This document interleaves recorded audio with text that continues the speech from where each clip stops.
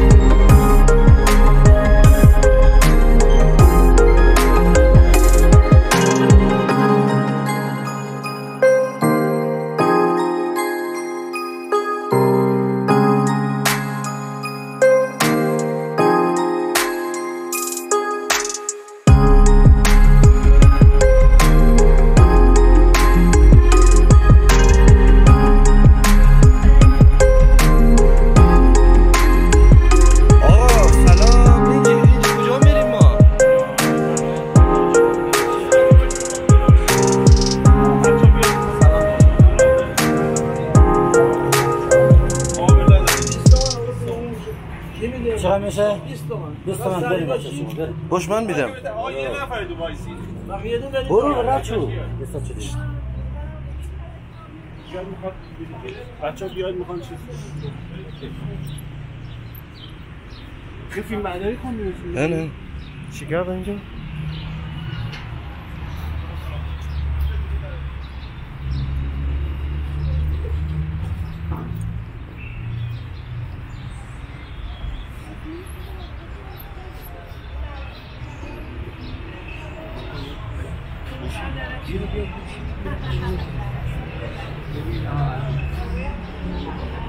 یا داره میره کدام بالا میره اون بالا خب. خب.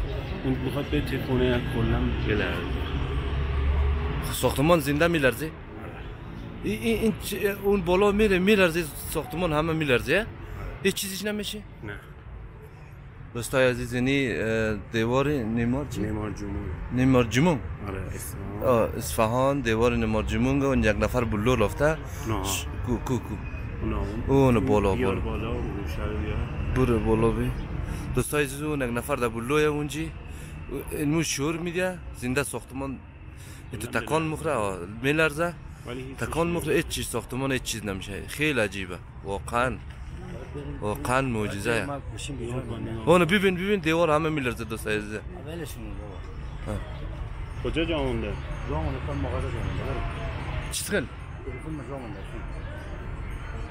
نه نه چیزی مونده همون مغازه جا مونده کدوم مغازه؟ همون مغازه که غذا خوردی آره بابا. تو ما- ماشین بوده ماشین رو. من دیدم بغل گوشی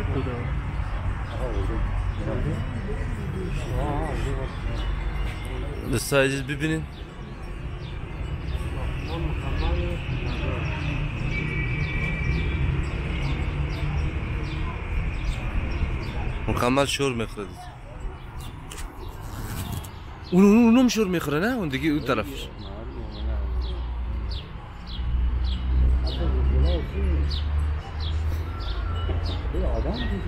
اون شور میده ورنه دوستا چقدر جالب است ببینید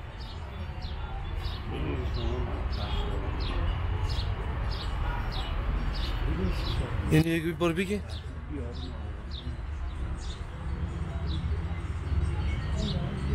해주면 됩니다. 그리고 발모음에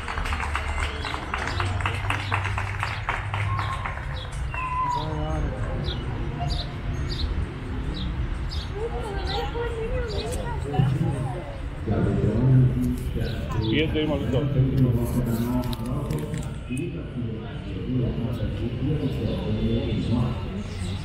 خیلی جالب بود. خیلی جالب بود خیلی عالی. این همه شور می‌خوره نه همه دوستای عزیز اون یک نفر مرو برو در بلو اونجی تکان میده این ساختمان کلا شور می‌خوره. هیچ چیزم نمیشه. اینجا هم بهت نشون میده. عرض سلام روز بخیر و عرض خیرمندم. از اینکه اصفهان رو برای دیدن انتخاب کردید سپاسگزاریم. محمدی هستم راهنمای گردشگری.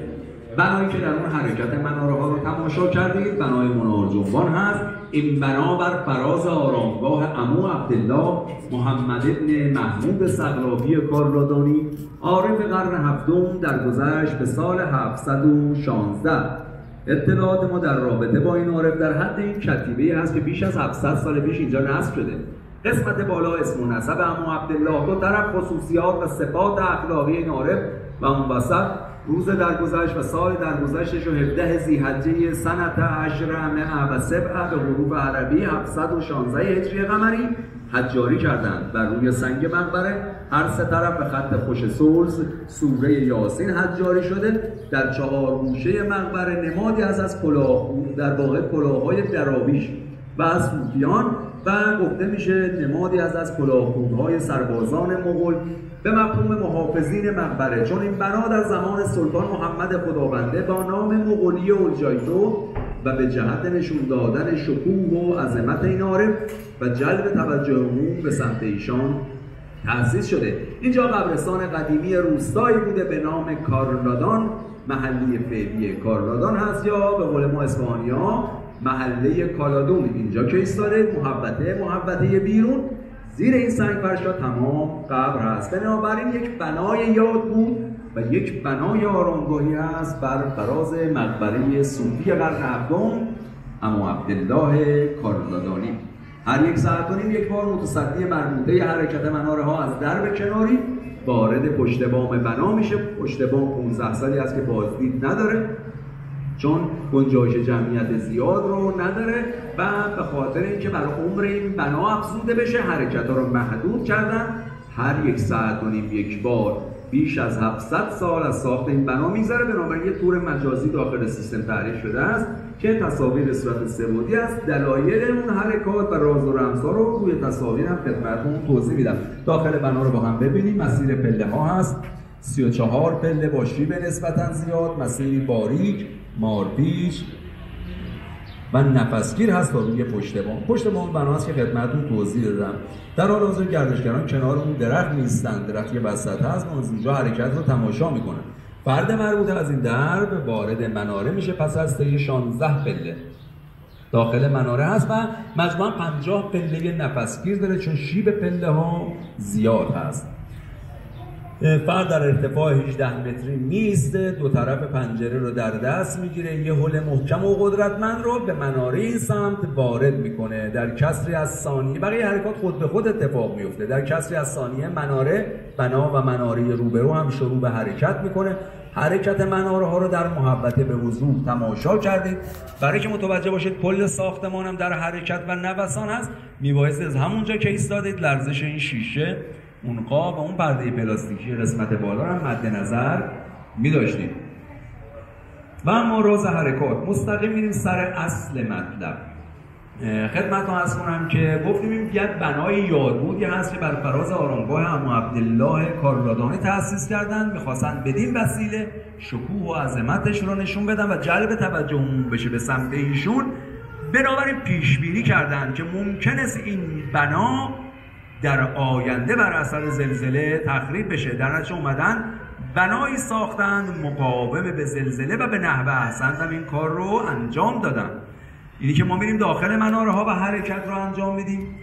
فقط و فقط برای جلب توجه گردشگران هست به رو کشیدن هنر معماری گذشتگان ما یه مقدار جنبه تفریحی داره. این مربوط میشه به 15 سال گذشته که جنبه تفریحی داشته ولی الان چون می‌دونن در واقع داریم یه زلزله مصنوعی به این بنا وارد می‌کنیم.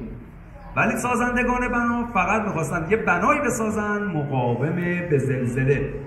بنابراین حرکت طبیعی مناره ها و بنا در اینجا وقتی اتفاق میفته که اینجا زلزله اتفاق میفته. مناره ها و بنا مجزا از دیگه حرکت می‌کنه به هم ضربه نمی‌زنه و تخریبی صورت نمی‌گیره.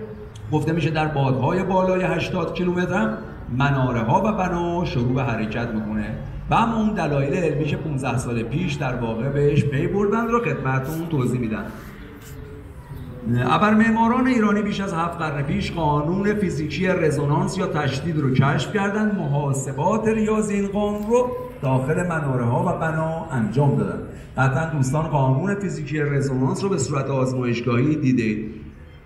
همون مجموعه گوی آویزان هست که یکی از گوی ها رو حرکت میدن انرژی جنبشی به گوی های وسط منتقل میشه. گوی آخر حرکت رفت و برگشتی داره. چرا این اتفاق میفته چون در این آزمایش وزن گوی ها و فاصله ها تمام یکی است. بنابراین خط قرینه از سقف دو طرف از نظر شکل ظاهر معماری و خصوصا بعض شبیه به هم هست که این اتفاق در واقع میفته هم الان کارشناسان در حیرتند که 700 سال پیش وزن منارها رو با چه امکاناتی یکی محاسبه کردن همچنان در پرده راز و ابهام وجود داره. با این همه توضیحات که خدمتتون عرض کردم این دلیل اصلی حرکات نیست یعنی قانون فیزیکی رزونانس دلیل ثانویه است. دلیل ثانویه است که این بنا مقاوم به زلزله است. دلیل اصلی این حرکات و مقاوم بودن بنا در پشت بنا در ساقه مناره هست. جایی که شما از روبرو نمی‌تونید ببینید در اینجا در تصاویر دقت بفرمایید در اینجا. وجود این شکاف هست در ساقه مناره. این دلیل مقاوم بودن این بنا به زلزله هست. عرض شکاف 3 سانتی متره تا پی ادامه داره در هر دو تا مناره. مناره ها کلا از بنا جدا هست. این شکاف رو امروزه میگن درز انقطاع. اصطلاحی فنی مهندسی معماری و عمران. درز انقطاع در واقع شما نمی‌تونید از روبه رو ببینید چون جلوی شکاف رو پوشوندن. در واقع از نظر معماری تزیین کردن و به اصطلاح امروزی آجر کردن. فقط از قسمت بالا دیده میشه. نکته خیلی خیلی جالب توجه این است که بعد از 700 سال حدود 15 سالی هست که مهندسین معمار به اهمیت درز انقطاع پی بردن. تحت نظارت سازمان نظام مهندسی میان درز انقطاع رو بین دو واحد ساختمانی محاسبه می‌کنن. اخیرا هم میان از یونولیت بین این شکاف استفاده می‌کنن برای که ضربه های زلزله رو بهتر بگیره و دفع کنه. در صورتی که بر معماران ایرانی بیش از هفت قرن پیش در انقطاع رو بین مناره و بنا محاسبه کردن پس این چیزی نیست جز شکوه هنر و معماری ایرانی در قرنهای گذشته. یه مهندسی چند روز پیش از تهران اینجا تشریف آورده بود. توضیحات منو تکمیل کرد. گفت من انبوساز و مسکنساز هستم در تهران. حدود 15 سالی هست که در انقطاع به صورت قانون در آینامه نظام مهندسی مطرح است. ولی متاسفانه 15 چهار سال هست که مجبوریم در انقطاع رو بین واحدهای ساختمانی رعایت کنیم. در غیر صورت به ما پایان کار نمیدن و خدا به داد اون ساختمان هایی برسه که در انقطاع رو محاسبه نکردن. چرا؟ چون در معرض خطر زلزله و تخریب زلزله هست. شکی به این قضیه ندارید استفاده از دو کلاف چوبی در بالا و پایین مناره ها جلب توجه می‌کنه. این کلاف های چوبی از نوع چوب روس هست. مقاوم قابل انعطاف. 60 70 سال پیش جایگزین چوب های قبلی شده. به عنوان تکیهگاه های مناره هست و مهمتر از همه این کلاف های چوبی هست که جهت میده به انرژی جنبشی که مستقیم به سمت پی بنا و مناره بعدی حرکت کنه. یه حرکت U شکل رو داشته باشه. شما در کسری از ثانیه حرکت مناره ها و صدای زنگوله هایی که عمداً بر بالای کلاف های چوبی نصب شده رو دیدید و شنیدید. استفاده از مصالح سبک در مناره ها و بنا هست که از چوب آجر ارتفاع کم مناره ها مزید بر علت است. ارتفاعشون 18 متر است. برای محاسبه در زنقطاع ارتفاع و مساحت بنا به شما خواهد گفت که در زنقطاع چقدر باید باشه و استفاده از ملاتی به نام ساروج که سختتر از سیمان هست بین این آجرها. ملات ساروش ترکیبی است از آهک خاکستر سپیده تخم مرغ و پشم بز اینا رو مخلوط می‌کردن. ملات ساروج به دست میمد چرا گفتم سختتر از سیمان؟ چون سیمان چهل سال آب می‌کشه ملات ساروج یک عمر هرچی به این بنا رطوبت بارون آب اضافه بشه. در سختی استواری و محکمی این بنا افزوده خواهد شد. عدم رطوبت باعث میشه ملات ساروج به تدریج پوش بشه و تخریب بشه. نمونهش هم داریم. همین های تاریخی شهر اصفهان 33 پل پل خاجو در شروع به تخریب است. دوستان اگر از نزدیک تماشا کنن های روی این ها ایجاد شده. چرا؟ چون نزدیک 20 سال است که رودخونه آب نداره. یه روز داره یه روز نداره و متاسفانه باعث شده که ملات ساروج در واقع ضعیف بشه و ترکای بخوره. آب باید همواره پای این پیهای این پلها باشه برای که این پلها محکمتر و سختتر باشه. چرا از پشم بز استفاده کردن؟ چون زبر و سفت هست. نقش مقدول و میلگرد داخل این ملات بازی می‌کنه و اون سفیدی تخم اون چسبندگی داره. بنابراین خدمت رو عرض کنم که شما حساب کنید برای این بنای این عظمت چه مقدار تخم مرغ که تازه سفیده هاش هم جدا کنم پشم بز و خاکستر هم پیشکش. فیلم حرکت مناره ها رو با هم ببینیم برای که تکمیل کننده اطلاعات شما باشه. در این رابطه شهر اصفهان با 139 اثر تاریخی. به عنوان یک موزه شهر شناخته میشه که در دنیا کم نظیر است سه کیلومتر پایینتر دوستان. حتما از بنای آتشکده بر فراز کوهی کم ارتفاع دیدن بفرمایید این بنا در واقع مربوط است به تمدن ایلامی حقامنشی و برج و باروها. 1700 سال پیش به این بنا الحاق میشه. حتما برید و تماشا کنید. منظری هم دارید از سطح شهر اصفهان.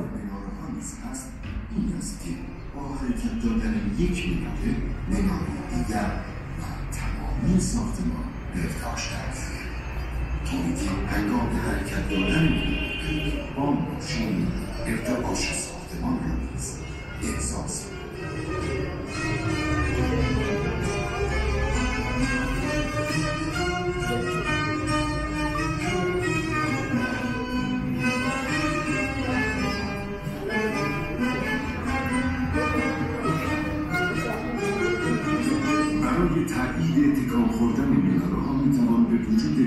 وجود دو درز عمود برهم که بین پایه مناره و پشت پا وجود دارد. اشاره که در هر جهت سه سانتی درز انقطاع هست از نمای نزدیک و نزدیکتر.